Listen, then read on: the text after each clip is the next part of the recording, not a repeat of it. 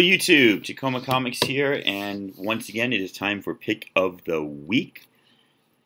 It's a little bit late, but it's not before next Wednesday, so it still counts as last Wednesday. Um, this is Sunday that I'm recording this on, so I'm closer to next Wednesday, but uh, just been super busy, um, and my back is still killing me. If you've been following me, you know I threw my back out and did something, pulled a muscle or something, but uh, anyway, let's get to it.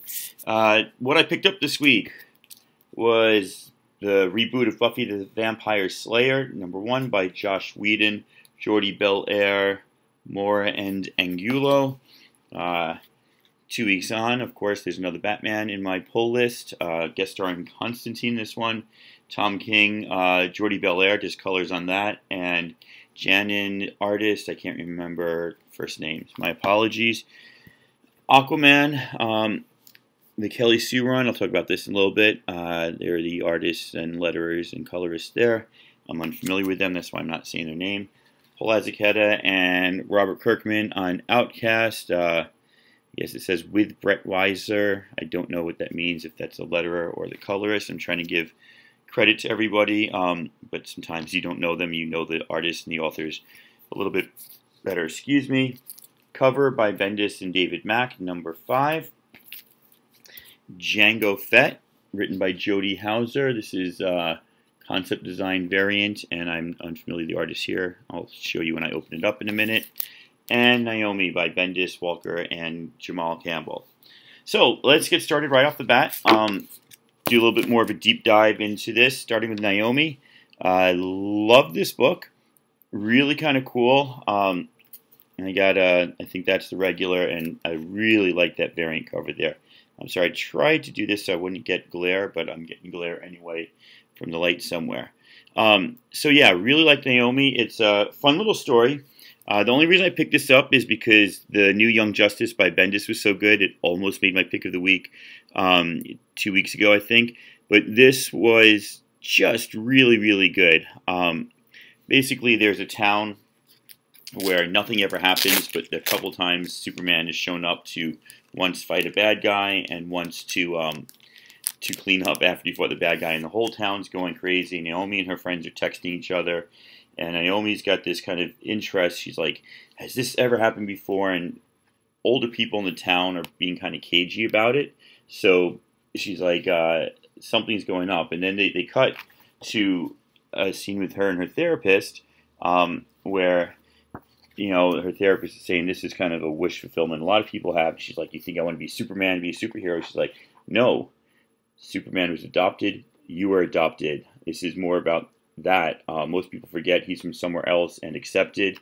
Uh, he's a fantasy of every child, especially every adopted child, not to be Superman, but to grow up and find out that you're special. And so Naomi kind of gets this little like, whoa, I get it now. Maybe that's why I'm so obsessed with this. But she's going on and talking to her friends, and they're kind of getting over it, and uh, she can't let it out of her head. She starts snooping about more and more, and she finally sees one guy, this huge tattooed muscle guy here. D is his name. And she goes and asks him a question. Apparently, it's a small town. Everybody knows of everybody, but she's never actually talked to him. And uh, she's like, Was there one other time?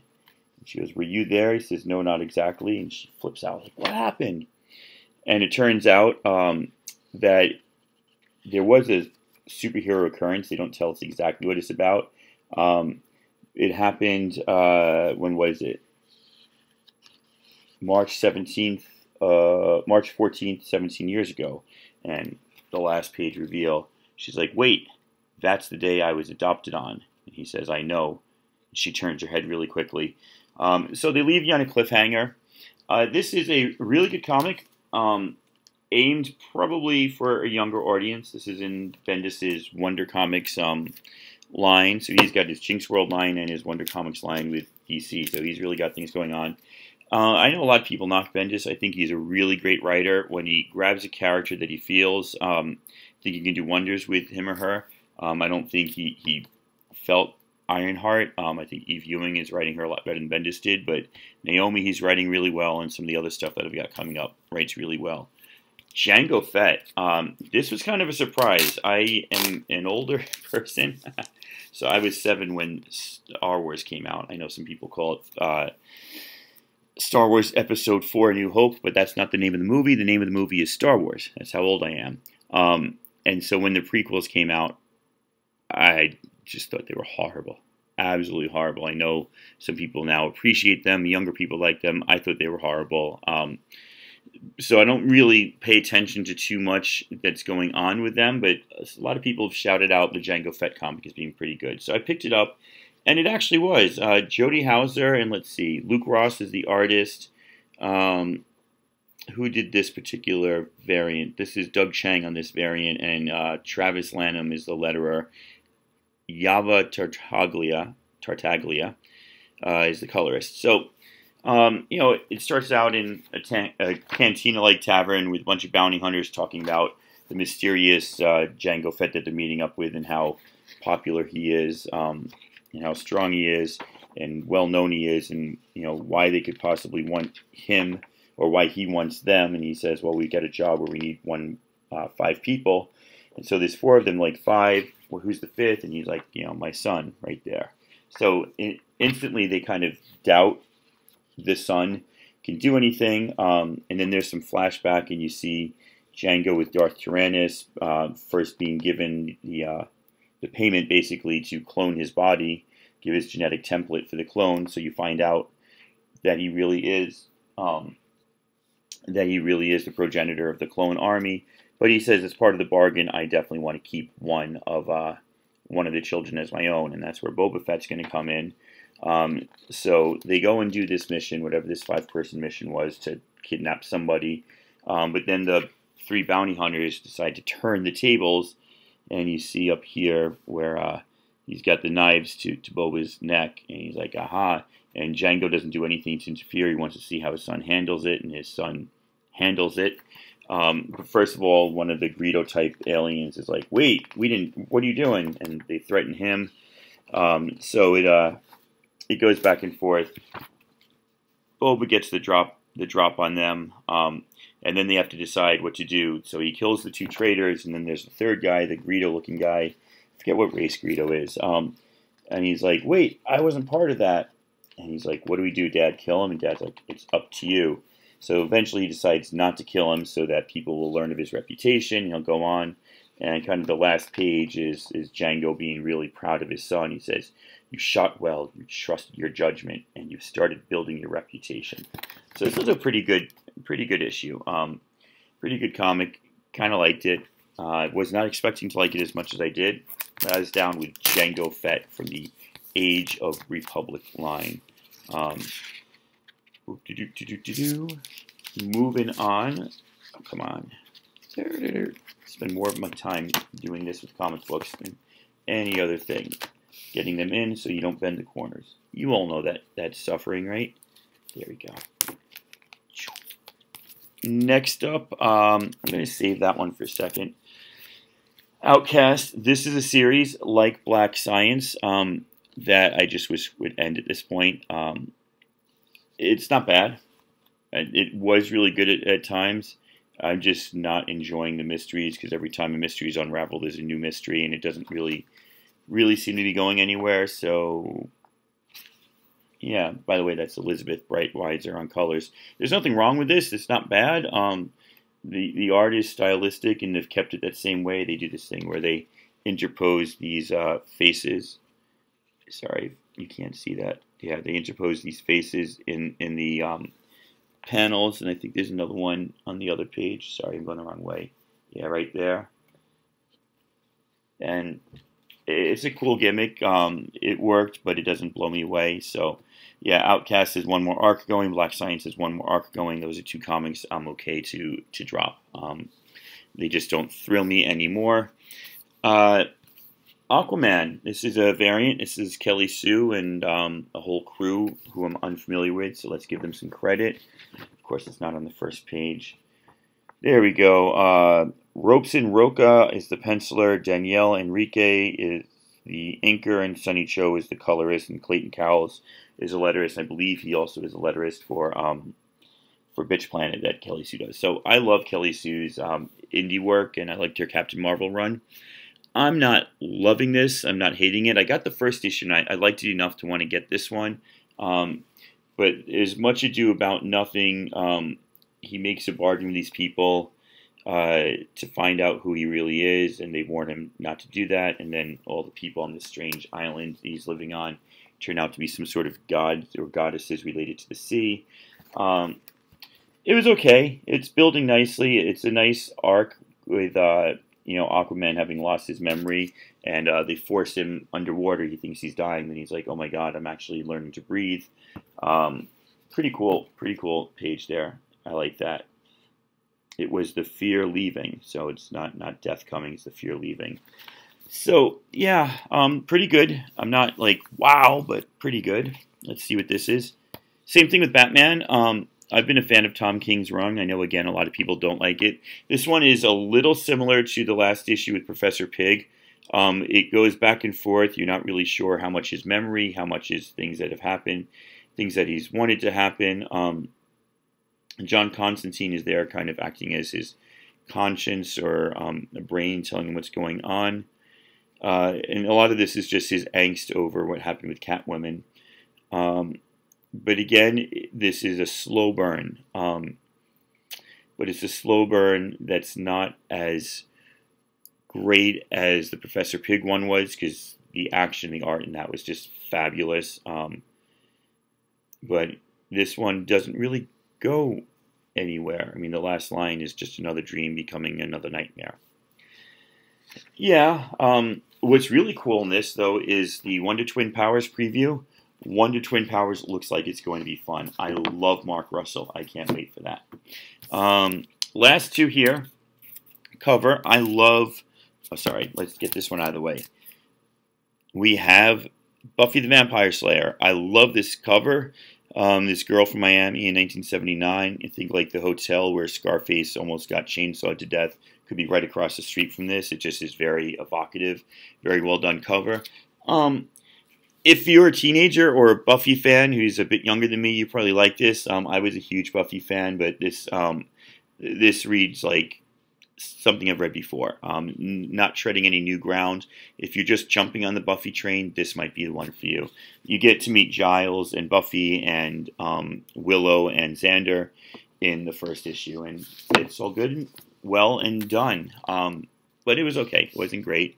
Uh, cover, this is a beautiful comic. I can't wait when the sixth issue comes out. I'm going to do a review of the whole series. Uh, so David Mack on the uh, pencils uh, and I guess coloring. Car oh, oh, sorry, Zoo or Zoo is the digital coloring. It just says created by um, by Bendis and Mack. Some of the art was by Oeming, but some of the art was by David Mack and Carlos Mangual in lettering. So um, if you haven't been following it, this guy is using the fact that he's an artist going to all these conventions around the world to uh, work for the CIA. He's got this strange contact, and she's leading him on. He gets him to all these uh, to all these conventions that he wasn't used to being like asked to go to before. And there's a lot of like subtext talking about comics and and the art of comics and about going to uh, going to conventions. And you know, I love a lot of the art here. It's just really beautiful. Um, and they show some of the uh, the comics that the writers, who are the characters in this story, have written or drawn or both. Um, and there's this one that's kind of similar to, not really similar to David Mack's Kabuki, but evocative of David Mack's Kabuki. So it's like this is a comic within a comic. And there's always a little bit of a connection between what's going on between the uh, young boy in this comic and the actual writer of this comic in the actual story. And if that didn't make any sense, just go ahead and read it. Um, so he gets invited to this major thing. I think it's in Brazil or, or Chile. I can't remember. He meets up with his his CIA handler right here, and I love this way they do this like kind of blank here, but then they do show it on, on some page. So it's kind of like this. Sorry, from the other side. This here is all building up to what's happening here. It's a kind of cool, neat effect. Um, and she's like, remember that guy who beat the crap out of you last time, and and and you uh, told him that he was nothing like Kirby because Kirby would have been beating the Nazis, not beating this guy. And he's like, yeah. She's like, well, he's over there. but don't worry, he's not going to beat the crap out of you. We think he's defecting. Um, he wants to work for us, so you got to go meet him again and find out what's going on. And that is the uh, that is the end. And that is you know beautiful David Mack watercolors right there. And you can see this guy's looming large and vicious looking. And he's feeling really small down here, kind of like, shoot, I got to go confront that again. He nearly beat me to death. And then I got to find out, you know, what's going on. Not a lot of fun. Um, last book was Pearl number six. And right after this video, I'm going to drop another video um, going through the whole series of Pearl because I love this series. Um, but let's take a look at number six specifically because this is pick of the week, not series of the past few months. And come on, boys, get out of this bag. What is Tacoma Comics doing over there? He's squeezing a comic out of a tightly packed bag. All right, so Pearl, again, Brian Michael Bendis. This time um, it is Michael Gaydos with um, Alex Maleev on some of the covers. I don't think on this one. I think this one is Gaydos. Uh, this is number six, and things kind of come to a head. I think they plan to end this differently, but um, they it got it's so popular doing another series. So anyway, Pearl um, is an al- a rare albino Japanese American young woman who tattooed her skin with an empty gun, so there's no ink in the tattoo gun. But the when she's embarrassed or angry, the flush in her skin brings out the tattoos, and so it's kind of a cool concept. Um, and they could do some beautiful artwork based on that. Her mother was connected to a Yakuza clan, and so is she. Um, they flash back to show her first murder was on some guy who was being aggressive uh, and not listening to no when no means no in the car. She shoots him. It's pretty cool.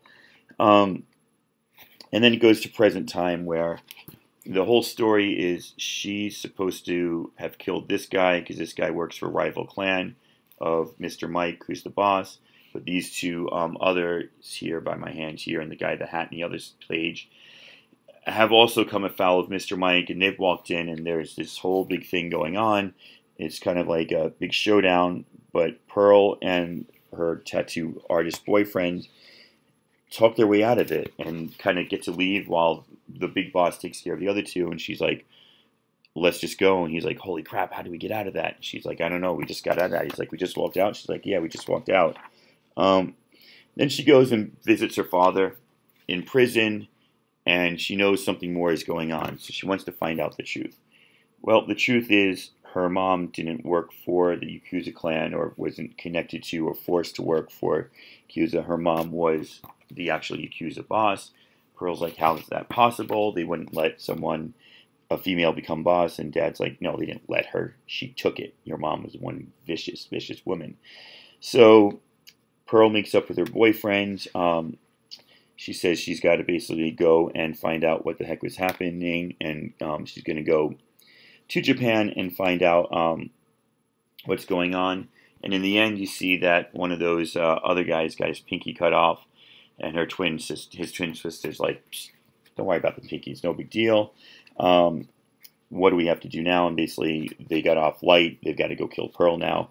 Um, and if they mess up, they'll take the rest of his fingers. So that was Pearl number six. Um, a, a great issue in the context of the other issues, but not a great issue in and of itself. Um, at least it's not going to be my pick of the week.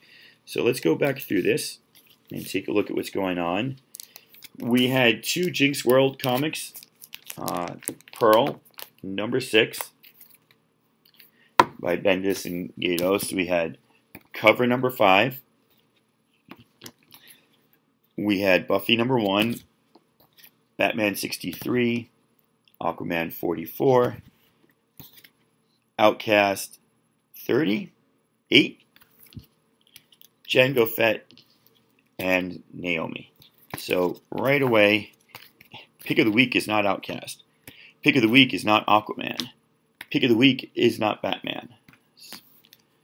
Pick of the week is not Buffy. None of those were bad. None of those were horrible. They're just not my picks of the week.